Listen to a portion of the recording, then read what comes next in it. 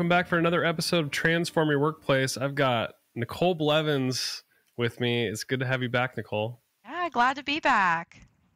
I always love our discussions. We always talk about really important stuff, at least I think so. And I think in you know in this environment that we're in, I think modern workforces need a really special type of leader. Leaders really need to continue to develop certain skills, work on themselves. So I wanted to just outline some of those things that leaders should be really focused on. And I wanted to start with you. Like, what do you think today's modern leader needs to focus on? Yeah, I mean, I think this is a really good topic because, you know, historically, like if you were just really good at your job, like it's like, oh, that's the only qualifying thing that, you know, you need to be a leader. And I think we've kind of discovered over time that that that doesn't necessarily make you an effective leader or isn't necessarily what your employees need. So it's more than just really being good at the work or understanding the work. There's a lot of other skills that are needed to be a better leader. And so I think communication is a really big one. Leaders are having to communicate with their employees more regularly, especially in this kind of remote world that we're working in. Employees are needing regular and constant communication and to be up to date on where the organization is and where it's going. So, being able to communicate effectively, I think, is a really important skill that a leader needs. And it's something that just kind of comes to mind based on what you were just saying. Yeah, and I think it's a great one because I've I've seen a lot of leaders, uh, never at Xenium, of course, but many leaders are not great communicators, and they that's just a skill that they're lacking. And there's so many forms of communication nowadays, right? Like especially with these fragmented workforces and remote work, it's like, okay, now you could you know, do mass email, you can do video if you want to, you could do like we have all team meetings, you could you communicate that way too. And so I think honing those skills across those channels can be kind of hard because sometimes it's written, sometimes it's you're on, you know, you're on video or sometimes it's live. And the way in which we communicate, the words that we use are really important. You know, we want to use simple and concise language. We want to reinforce, reinforce. I think too many leaders fall in the trap of you said it once, they should everybody should know. But everybody's thinking, you know, they're bringing whatever they have with them at any given moment, so they may be tuning you out completely. So constant reinforcement. I think that's what you're alluding to, right? Yeah. Repetition is important. That and also not shying away from like tough conversations too. Like, you know, communicating effectively and about all of the right things and not shying away from communication that might be difficult or hard. You know, really leaning into that and being um, getting more comfortable with having those conversations so that you and your employees are all on the same page. All right, I'm going to jump in with one of mine. And I think this is so underrated that it, it needs to be said early on is leaders need to take care of themselves. Leaders need to practice well being, and people are watching, by the way. So this falls into lead by example in a lot of respects, too. But leaders often are taking care of everybody else first. But if they can't take care of themselves, they will not have the energy, the stamina, the mindset to be able to be there for their people. They're going to fall apart early on. They might be short fused. Um, so taking care of yourself looks different for everybody. But a couple things come to mind for me is making sure you're taking regular breaks, go on walks, go outside, like go out in nature if you can. Meditation, I know that was woo woo in the past, but I think a lot of people are really adapting to it. Yeah. I like to read reading yes, like new reading. ideas clears Same. your mind a little bit it's it's relaxing in, in a lot of respects unless you're like reading some fiction that's like a little crazy but i i think practicing well-being also means nutrition sleep and doing those things people will notice you'll have energy you'll be there for your people and you'll be more of an effective leader. I don't know if you got anything to add to that, but yeah, that was very well said, and and I agree. And you know, I would say even personally, like in the spirit of vulnerability here, I have struggled with that in the past. Is like making sure I protect my time and build in time for breaks and lunches and doing all of that. So you do have to be intentional about things because you can be sitting in front of your computer going through emails, and before you know it, it's five o'clock, and you're like, I have not moved in eight plus hours. That's crazy. So you do have to be intentional about it. And that really kind of leads me to the next idea that I have or that I think is really important for leaders is leading by example as well. And that relates to kind of what you just talked about self-care is I had that realization, you know, earlier on when I was struggling with putting those breaks and lunches is I'm not leading by example for like my employees and my team.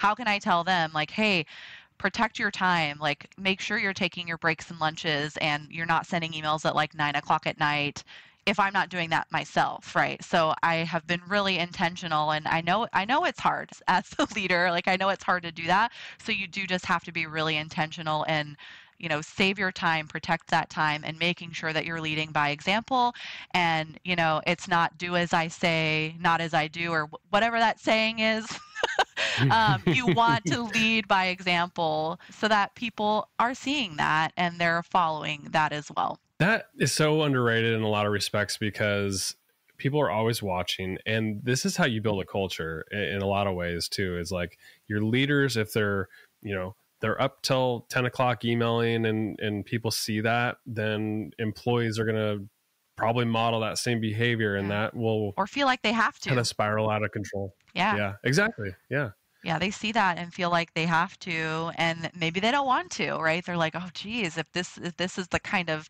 position where I need to do that, is that really what I want, you know, for myself long term?" So, just you know, realizing that those those little things we do that we may not realize have an impact, and people are seeing that, and making decisions or uh, perception based off of that.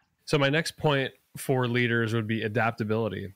I believe that the workforce and, quite frankly, just the business world and is changing dramatically. And it's a, there's a couple forces at play. It's people, you know, the needs of people are changing. Economic, there's a lot of externalities that happen that uh, you know, inflation, for example, and uh, and other things that happen in the world that that impact either the workforce or the people within it and then technology that you know got ai and automation and robotics and machinery like just so much advancement that if leaders are not adapting to the changing times and making effectively like helping people through the change management process just making sure like we're all along uh, you're either on the bus or you're off the bus and, and just making effective decisions uh, to adapt to the changing times i think that's a skill set that's like it's hard to learn if you don't have the experience, like, but if you have the experience and you get comfortable with it, it's a lot easier to, to continue to adapt to the change and help your people along with it. But I don't know if you have any uh, perspective on this topic as well. Yeah. No, I agree. Adaptability is really important. And, you know, I think there's so many examples of like businesses that failed because they didn't adapt to the changing times. Like Blockbuster, right, is that classic example of like didn't adjust to the way things were going or the trends or the changes, wasn't adaptable to that. And then you know, failed as a business as a result of that. So I think that applies to leadership, right? Because all businesses are run by leaders. So making those decisions for your business, but also to your employees and your employees' needs. Like you have to be adaptable to that and to how the work is going to get done to be successful as a leader and as a business. What else you got? All right. I, I would say another one is really empowering your team is a big one. No one likes a micromanager, right? Like that is kind of a number one complaint that we hear is no one likes a micromanager. And so the way that you get away from that is by really empowering your team to do the work and find ways to do the work that might be even better than the way you would prefer it be done or that you initially thought it could be done.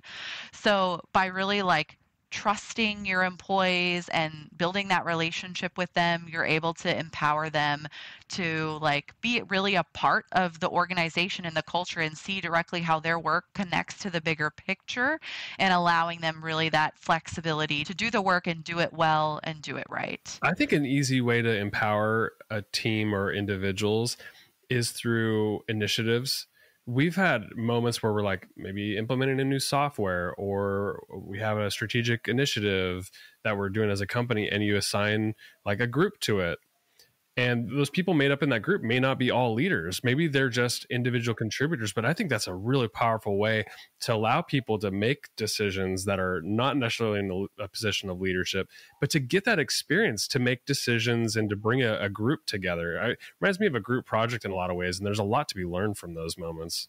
Yeah No, I agree. And I love that on the Xenium team specifically, we have different committees. And when we are rolling out new products or new ideas, like we get a committee of people that will be impacted or involved in some way to like talk about it to really make it as successful as possible and getting diverse ideas and experiences. And it also helps people get on board with changes too, right? If you're part of the change, if you're part of the discussion or the decision making, you're more likely to carry that out and feel like empowered to be part of that change and be part of the success. So, yeah, I love that we do that internally. And I think that's a great way that organizations and leaders can empower their teams for sure. So my next one, and I want you to to add to this because I think, and we'll probably end the show with this one, but um, one of our colleagues models this one perfectly, and I think we can use some examples about how she does this. Uh, so build strong relationships. I think that's such a skill set that leaders need. They can't just sit in an ivory tower and make decisions all day and and just be completely closed off from from the team. Lacey Partapillos, who I'm talking about, and I knew Yeah, I you're, knew it. you're, I yeah, knew it. she is just amazing at connecting with people and Yeah. sh- even if she has to have tough decisions she's still great at building a, a two-way relationship with people. And she remembers birthdays and anniversaries and she's always checking in with people. Her one-on-ones i'm sure she's asking great questions of her employees and um, even connecting with people who are not her employees. Uh, what do you want to say about that Yeah, no, I agree. Like building relationships with your employees is really important. And, you know, I have had the pleasure of reporting to Lacey at a certain point at my career at Xenium, as well as like working with her as a colleague. I would even say that Lacey built a relationship with me before I even came to Xenium because, you know, hearing her on the podcast and like I connected with her on LinkedIn leading up to even starting at Xenium. So really that is that is an example that rings in my mind, really going all the way back to the beginning of me even starting with Xenium before I even started. She was reaching out to me on LinkedIn asking me if I needed recommendations on like local food places in Oregon or apartment complexes, like all of these things that I wasn't even thinking of as I'm getting ready to make this big transition and move to Oregon and, and join the Xenium team. And so like talk about building strong relationships is I had a great foundation before I even joined the Xenium team because she was intentional with like reaching out, asking specific questions, seeing how she could be of support. And that is really, I would argue, one of the most important things out of everything we've talked about today to do as a leader with your team. Because when employees genuinely feel like they have a relationship with you, that you care about them and their success and want them to succeed, that really totally transforms the dynamic of the relationship, how they're working, how they're interacting with you and others on the team. So, yeah, I would argue it's the most important, and Lacey is absolutely the person that does it so well. And I really follow that lead too, because that is how she was with me or interacted with me. That I take that on to my team and my employees as well, as making sure that I'm being intentional and leaving time to have those conversations and ask questions, check in on how they're doing personally and how I can support them because it really makes all the difference. I believe that leadership, especially with like as it relates to relationships and trust, is so much built on the margins. It's like the little check-ins, it's the the listening intently, it's the remembering birthdays and anniversaries, it's the having a tough conversation even if it's it's uncomfortable, but you can move forward together. It's all those little things, the day-to-day activities that add up and they build strong relationships. That's what an effective leader does. That's what Lacey does. I look up to people like that. That's the kind of leader I want to be. And I'm encouraging people listening to try their hardest to care about the little things. The little things do matter. Yeah, agreed. Absolutely. And building those relationships really makes having those tough conversations that we do have to have as leaders sometimes a lot easier because when you have a strong foundation and relationship with that person, they know that the feedback or the situation that went wrong or whatever is happening is not a personal attack on them or isn't reflective of who they are because they feel like you know who they are, right? And you know their intention.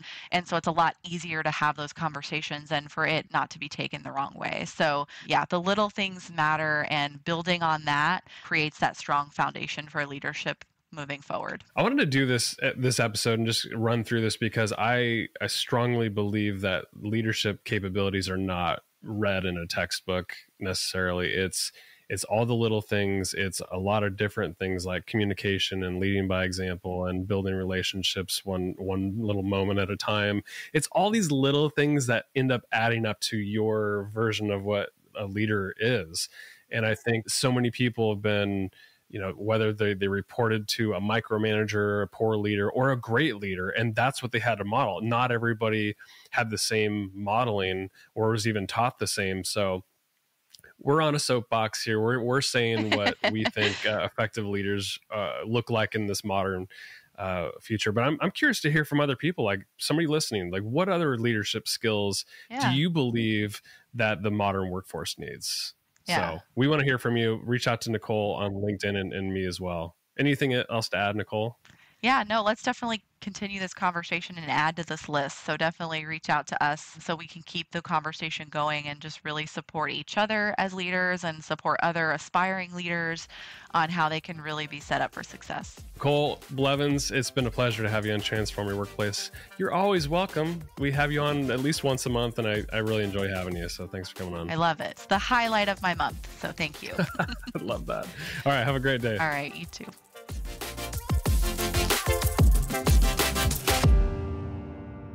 Hey, thanks so much for tuning in for today's episode of Transform Your Workplace. The content on this show is strictly for general information and educational purposes only, so that you can go transform your workplace in a positive way.